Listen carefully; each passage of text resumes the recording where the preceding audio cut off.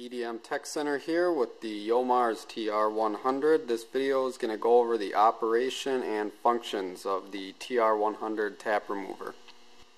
This is a TR100 control unit. This unit uses a standard 110 plug-in. You got your main power switch right here.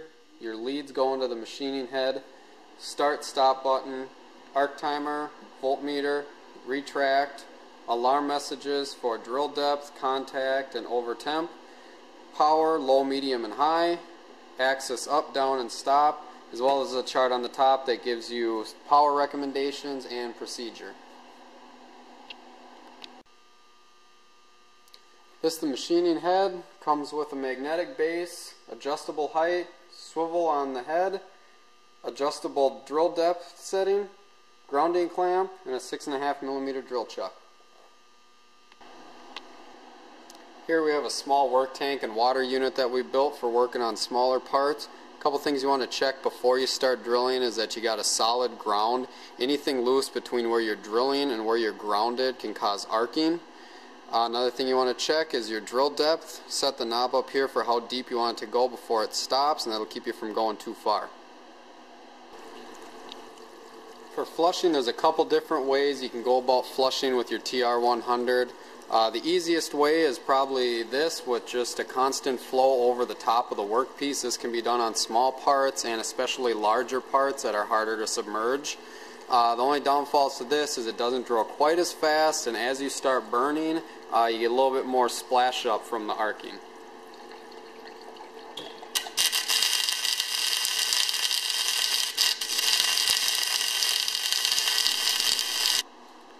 Second method of flushing is completely submerging the spot where you're drilling.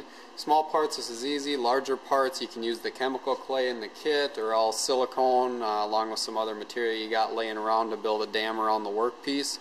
Submerged flushing, biggest advantages is it's not going to be quite as messy and your cutting speed is going to be a little bit faster.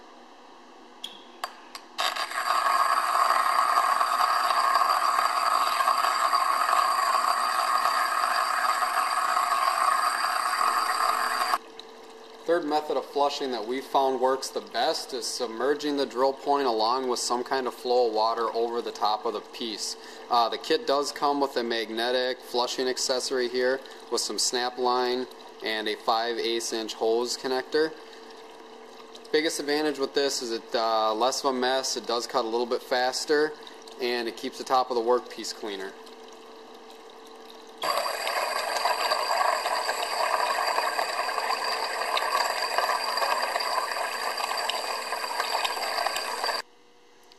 Can see now we got a hole down the center of our quarter 20 tap.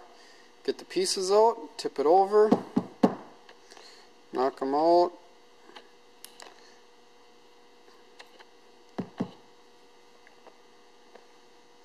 Threads in the hole are still perfectly fine, and there's your three flutes.